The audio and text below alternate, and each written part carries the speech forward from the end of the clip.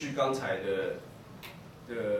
的整个架构，那我们现在就是特别是想要针对媒体的部分，我们所谓的媒体的部分做广告的监测哦，其实主要是指三个部分，就是电视广告、广播和那个网络广告。就是我们会希望说，至少在选前三个月，我们会把所有的这个呃候选人或者是政党，呃，他们在在这些电子媒体和广播呃，或者是网络上面的这个广告，我们都有一个完整的收入。然后我们就可以进一步去分析说，呃，就是在第一个阶段，我们可以进一进一步分析它的它的制作成本，它的播出的成本。好，所以是特别针对这三个部分，那我们就会需要一个一个大大大量的资料库的一个侧录，然后侧录完，然后把这个资料再做进一步的分析。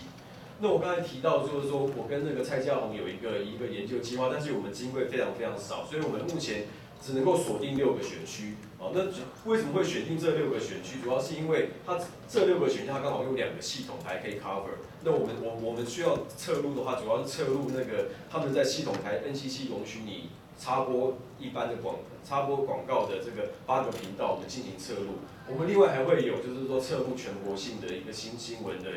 对，我们会另外委托等于是专业公司在测录全国全国的新闻频道哦。但是就是那我们是只能够先做这这六这六个。那如果说呃大呃如果说我们这个这个系统如果大家有兴趣，就是说它其实呃当然可以做就是。全全部的七十三个选区的的都可以做，但如果说如果如果有呃时间或者是说呃精力有限的话，我们会建议就是说会会呃建议大家都可以先考虑这五个选区，包括台北有两个市林，呃呃士林大同，还有松山中山，呃还有还有新北市新庄树林。呃，一个新庄跟板桥，为什么会这五个选区？因为就是我们在做研究，会希望说那个样本会反映说不同的选那个选区的那个竞争程度，是是有现任的立法委员，还有他的那个蓝蓝绿的呃蓝绿的一个分布啊，所以会会会大概是做这样的一个建议。那同样也是会希望就是说有有尽可能有工程师，还有个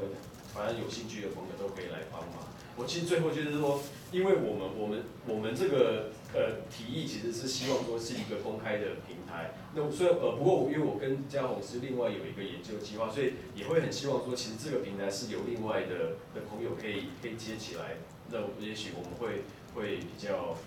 更更更适合这样，更方更妥当。对，谢谢。好，谢谢燕图。那下一位是雨婷，然后再。